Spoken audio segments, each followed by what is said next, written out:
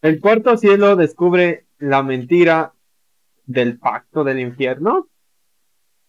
Pues bueno, chicos, el día de hoy, como estamos viendo aquí en pantalla, o sea, no sé si nada más querían que el cuarto infierno pensara que todos los del cielo iban a creer y que no piensan más de tres segundos, pues, o sea, estaban equivocados. Todos sabíamos lo que en realidad iba a pasar, que todos iban a dar cuenta que el cuarto infierno estaba unido, y lo acaba de decir Paul, Barbie y obviamente Jorge. Bárbara es la única que sí pensó que ya se habían dividido, y dicen los demás, ¿cómo se van a dividir? ¿Tú crees que van a andar haciendo eso? No, Bárbara, no seas ingenua, están jugando contigo. Y pues sí, siempre están jugando con Bárbara, ya que le están diciendo que la van a nominar.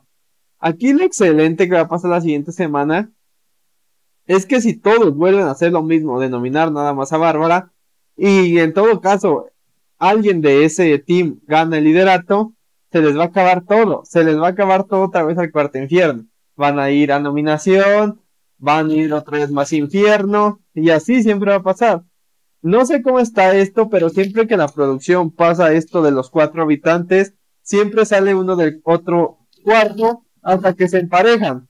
Ya emparejándose, pues ya hacen otra vez las eliminaciones y siempre llegan más de un cuarto que de otro. Pero nunca se va a quedar con lo mismo. Y ustedes dirán, no, pero no es lo mismo.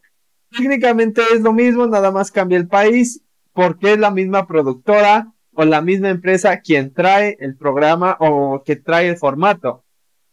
Es lo mismo. Por esa situación está así. Y después de esto, de descubrir la verdad y de que Barbie explotara en contra de sí, en contra de Sergio y le dijo sus verdades, pues todos saben qué va a pasar a partir de ahora. Así que dime tú, ¿qué opinas? Suscríbete, comparte, dale like. Nos veremos, chao, chao.